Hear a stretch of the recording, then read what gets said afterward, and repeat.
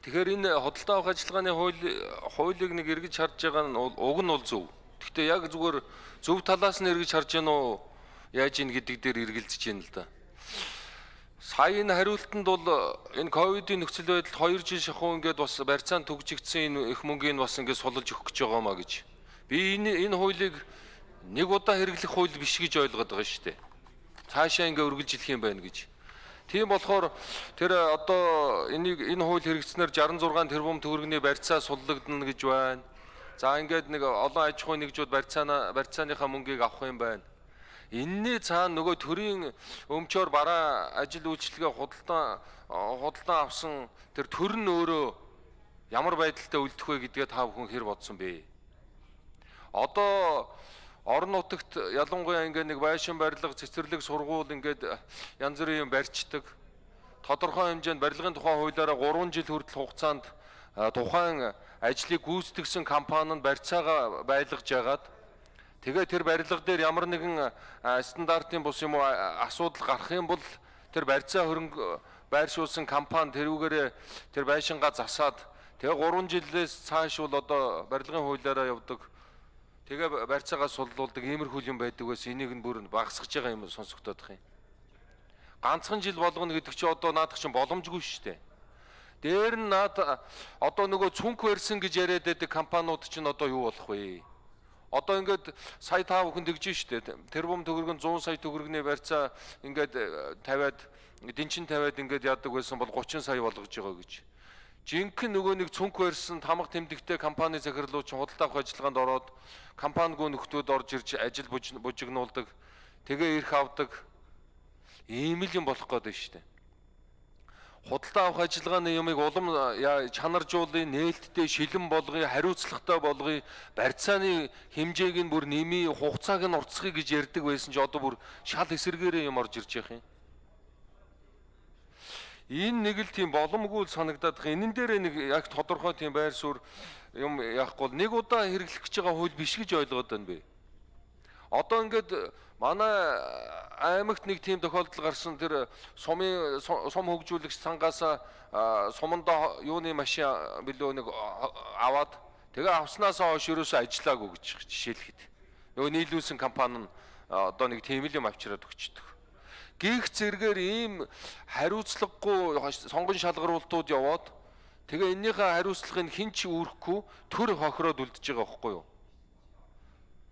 Тэгэхээр өнөөдөр одоо Архангай аймагт театрын барилга, хусан бассейны асуудал одоо барьцаан дээрээ л торгож штэ дөнгөж нөгөө барьцааны 5% гэдэг дээр э, зарим нь торгож зогсож чинь жишээлэг. Тэгэхэд чинь барилгаа оруулаагүй ээжиж тэр барьцаанаас аваад барилгаа гүйцээ чигээ зүтгээд байгаа ш нөгөө компаниуд нь. Ийм байгаа нөхцөлд өшөө бүр багасгах гэж юм яриад байдаг чинь боломжгүй байна. Тэгэхээр энэ дээр яг ямар судалгаатай яа яагаад ийм хууль ингэж оруулж ирж байгаа юм одооныхоор мөрдөгж байгаа хуулиараа явахаар юу нь болохгүй болчиход байгаа юм маш хариуцлагагүй юмнуудын худалдаа авах ажиллагаанууд дээр явж байгаа шүү дээ. Тэгэхээр энэ бол боломгүй санагдаад байна. Тэгэхээр энэн дээр маш тодорхой хариулт авъя. Төрүүн бол зүгээр л энэ аж ахуй нэгжүүдийн мөнгийг нь ингэж аж ахуй нэгжүүдэд ирж байгаа дарамтыг нь бууруулъя, дэнчингийг нь багасгахыг, барьцаа хөрөнгийг нь удаан байршуулдгийг нь богино хугацаанд байршуулъя гэдэг юмнууд байна. Инний цаана төр хохирох нөгөө төрийн тэр барилга байшин хэрэгжилж байгаа одоо төрийн байгууллагууд хохирох, ард иргэд хохирох, төсөв хохирох ийм нөхцөл үүснэ. Энэн дээр тодорхой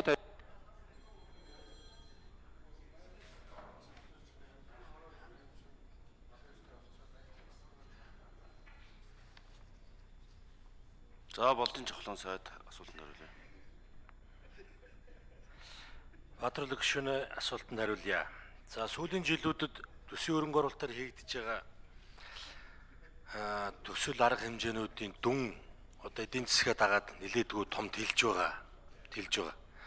За энийгээ дагаад аж ахуй нэгжүүд төр очиж байгаа шаардлага энэ санхүүгийн босгууд нь ч нэлээд өндөр болж ирж байгаа.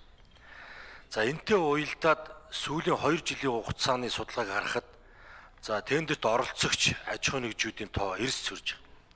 За ялангуяа энэ жил бүр бүр цөрсөн баг. Бүр цөрсөн баг. Хэд хэдэн шалтгаантай л да. Ер нь ингээд зах зээл дээрх үн их тодорхойгүй их савлгаатай байна. За орлоо гэхэд маргааш нь үн хэд болох нь тодорхойгүй. гэх мэт. За мөн ер нь ингээд өнүүд нь том болсон учраас бас энэ санхүүгийн хүндрэлтэй үеүүдэд тавьж байгаа энэ одоо босгууд нь их өндөр байгаа учраас тэрийгээ бас давахгүйгаас болоод энэ одоо төсвийн бүтээн байгуулалтын ажлууд саадах ийм эрсдэлд орж ирж байгаа. За таны тавьж байгаа хандлагыг бол би зөв байна гэж харж байна. Ер нь яг хуу төсвийн хийгдэж байгаа хөрөнгө оруулалт энэ одоо зүйлүүдийн чанарт санаа зовж байгаа нь бол зүүн хэрэгэ. А гэтэл одоо чанар битгийл байшингаа барих ийм тендерт оролцогч нар нь одоо орж ирэхгүй, босхын давахгүй.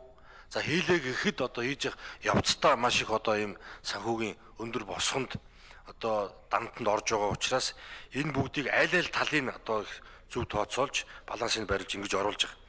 Танд би нэг зүйл одоо хэлье. Жишээ нь гүйцэтгэлийн баталгаа гэж байгаа. Одоо төсөв төртгөөс нь баггүй. Одоо гүйцэтгэлийн баталгаа шүү дээ нэг тэрэм дүргийн ажил байлаа гэхэд 5% буюу 50 сая төгрөгийг барьцаалж иж ингээд тендерт ороод ингээд гүйцэтгэлээ гэрээ хийгээд аваа явдаг. Гэтэл тухайн жилдээ одоо санхүүжигт үнэ нь одоо тухайн жилийн төсвийнхээ боломжоос болоод 100 сая юм уу 200 сая олоо явчихдаг. Бараг тэрнийхээ талыг нь аваач тавих гэдэг. За тийхэл одоо энэ удаагийн зохицуулалтаар зөвхөн тухайн гэрээгээ хийлээ зөвхөн тухайн жил гүйцэтгэх санхүүжих дүнгээс нь 3%-аар нь гүйцэтгэлийн баталгааг нь авдаг болж байгаа. А тэр чанарын баталгаан дээр бол чин ашиглалтанд орсноос хойш учраас мөн санхүүгийн одоо барьцааг нь одоо тавиулах ёстой дээрээс нь яг барилгын хуулиар чанарт нь одоо хяналт тавьдаг тэр яамны чиглэлийнх нь өөрсдийнх нь одоо маш олон юм хяналтын механизмуд байдаг. Тэрийг нь одоо илүү сайн ажилуулах явбал ингээд эрсдлийг нь бууруулах ийм арга хэмжээнүүд нь хангалттай гэж ингэж харж байгаа. За тийм учраас одоо цаг үе олсон за хуулийн үзэл баримтлалын хувьд бол ийм утгатай агуулгатайгаар орж ирж байгаа шүү. За тэр хамгийн хямд үнийн зарчим дээр бол шинжсэн найруулга дээр мөн ингэж явж байгаа. Одоо ямар ч үндэслэгүй одоо хэд хямд хүн орж ирж байгаа тохиолдолд одоо захиалагчийн зүгээс энийг татгалзах болох тийм одоо эрхийг оруулж өгч байгаа. За мөн яг түрүүн гişүүдийн хэлж байсанчлан одоо форс мажор гинтийн тохиолдол гарсан тохиолдолд зохицуулах бүр заалт орж ирж байгаа.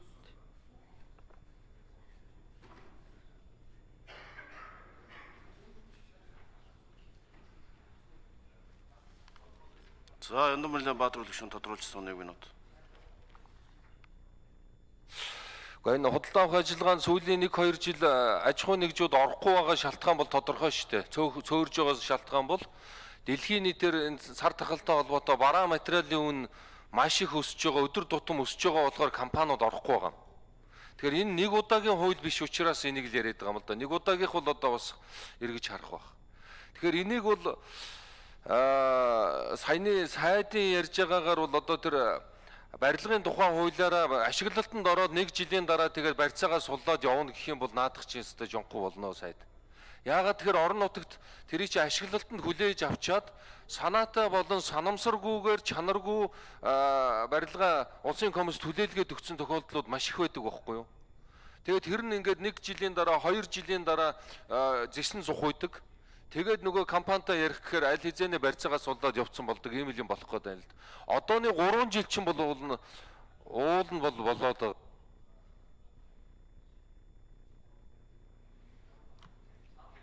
саналж. За хянгагийн боловсрол өгшөө.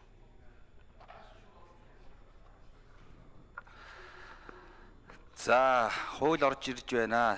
Төрийн бол орон нутгийн өмчээр бараа үйлчлэгээ худалдан авах тухай хууль өөрөөр хэлбэл тендерийн хууль. Энэ дээр бол бас хугацааг 45 хоног тендер шалгаруулдаг байсан бол 15 хоног болгож байна. Үнийн дүнгийн 5%-ийг одоо барьцаалдаг байсан бол 3% болгож байна. Сайн зүйл байна. Гэхдээ тэр